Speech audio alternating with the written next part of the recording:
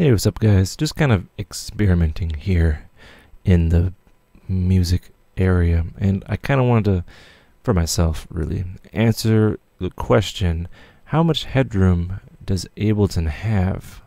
Uh, there's a lot of like forum posts and stuff like that online, um, and generally they say it's like all, uh, you know, theoretical. So what I did is I figured it out, kind of in my own theory, and the headroom is 245 decibels. That's 245 decibels above zero, where you're supposed to be, right? So let's see how I did this. So I have uh, a sine wave. So we're, we're detecting uh, how much the headroom is by when a sine wave will clip, right? And apparently it takes a lot uh, from what I've seen. So you have a sine wave, which is uh, set at zero. So it's this, you know, at zero.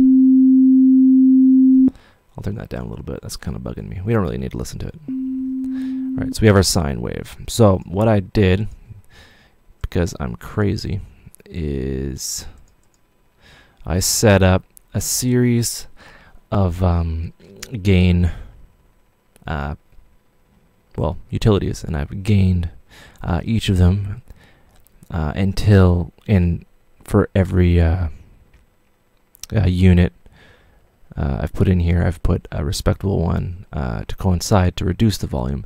So we have something that doesn't, you know, it doesn't blow our ears up. So with all of it on like that, we have, was that 245 decibels of gain uh, all around there. Yeah, across the board, and then we're reducing uh, equally. And then we have our little master knob here. So it starts at zero, and we'll take a listen to it here.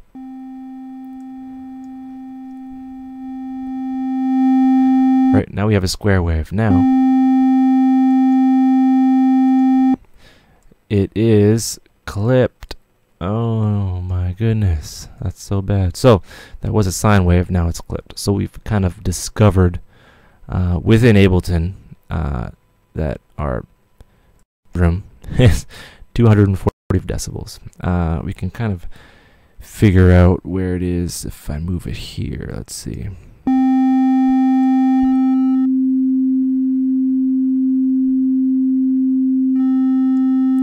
It's kind of finicky. So, more or less uh, around this area. We start to get uh, our uh, clippage going on.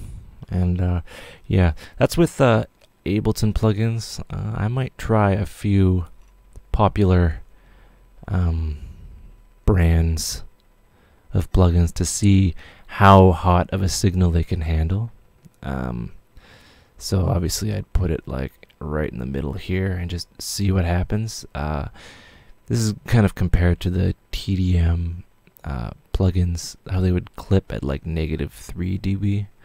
Uh, these days we have a lot more to get away with. Obviously you wouldn't want to be clipping in the master. I'm just saying uh, we don't really have to worry too much about uh, headroom as much as we do, uh, assuming the plugins uh, are capable of working uh, really hard in the range of I don't know 100 decibels, maybe 200. I'd see them break down. Who knows? We'll never know for sure. Well, I guess I could figure it out, and I guess there are some people out there. But yeah, the headroom in Ableton is pretty massive. That 32-bit floating point stuff is pretty cool. Anyway, I thought well, it interests me, so I hope it interests you. Alright, take care.